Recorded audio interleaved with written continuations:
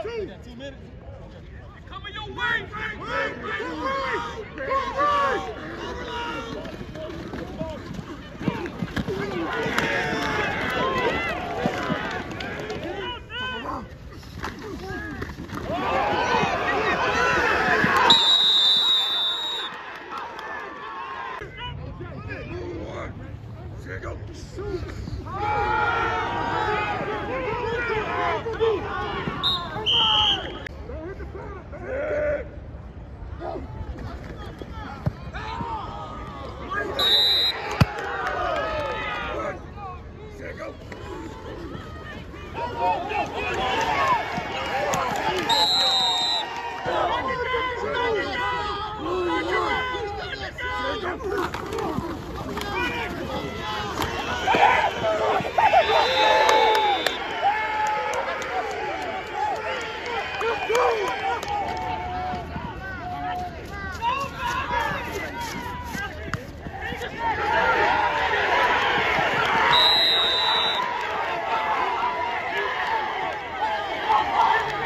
Good, or good evening, folks. This is Byron Jones with Recruit 804.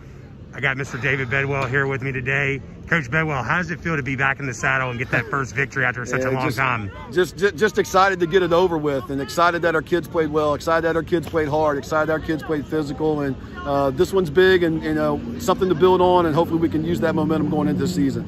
So, you know, you, your last game that you coached was back to 2016 regional championship to now in those five years. I mean, what is it like to be back and, and be on the sidelines and doing what you love? It was scary. And then, you know, I messed up a big time right before the half with clock management. So that's just me learning how to do things all over again. You know, I'm learning as, well as these kids. And, um, you know, probably could have done a better job as a coach there. So that hopefully that's something I'll learn from. And, uh, you know, again, I'm, I'm, just excited that kids are buying into what we're doing and kids are playing hard and, and, and hopefully we can improve.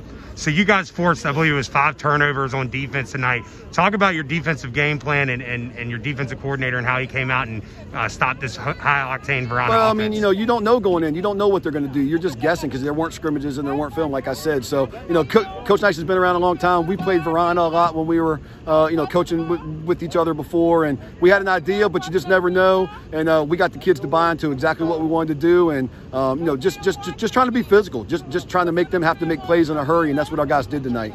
So last thing, you know, you guys got Glen Allen, I believe, this Saturday. No, we actually have a week off, which is nice. Week so off. we have a little bit more time to heal up ourselves because we were physical, and then maybe we'll get another week. So we don't play until not this Friday, but next Friday. Next Friday. So Yeah. talk about game planning for, for Glen Allen and, and getting your guys ready to. Yeah, to we don't out. have any idea. Luckily, we'll get a film, and maybe we'll get a chance to see them play because they, they they played tonight, and then they play again Saturday. So we'll have a you know hopefully a couple games that we can watch on them, and maybe have a better understanding of what they do, and maybe be a little more detailed with our game plan. Awesome, Coach. Well, I appreciate your time tonight. Best of luck. Good evening, you folks. much. This is Byron Jones with Recruit 804, and I got head coach Mr. Marcus Lewis here with me tonight. Uh, in his first debut as head coach at Varina, his alma mater. Uh, coach, talk to us a little bit about the game tonight. You know, 9-0 was the final.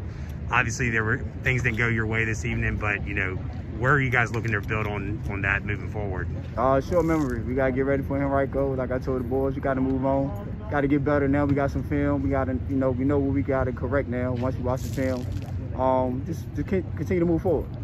So, you know, Bobby Dunn didn't start the game, but he came in, I think, midway through the second.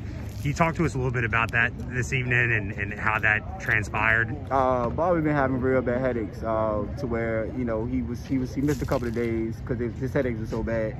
Um, he just tried, he tried to give it a shot today. Um, second half or whenever he came in, he felt like he was ready to go.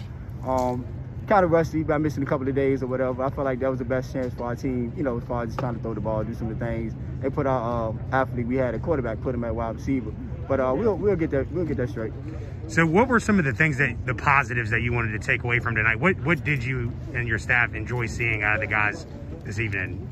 Um, just continue to play, continue to fight. Um, it's kind of hard to say what I saw, honestly, until I watched the film. I'm one of them people that could really watch and, and really look.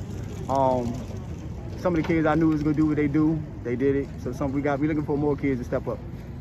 Okay, so we got a quick turnaround. You know, this Saturday you guys are going to Henrico to play. Talk to us about you know preparing for them uh, coming up this Saturday. Uh, I guess it's more of a spread team normally. Don't know what they what they doing. So. We, we probably won't have no film on them. Matter of fact, I know we won't have no film on. So it's more so us getting getting fixing our mistakes. More so worried about the next team, honestly. Awesome, coach. Well, hey, best of luck to you rest of the way. Yes, sir.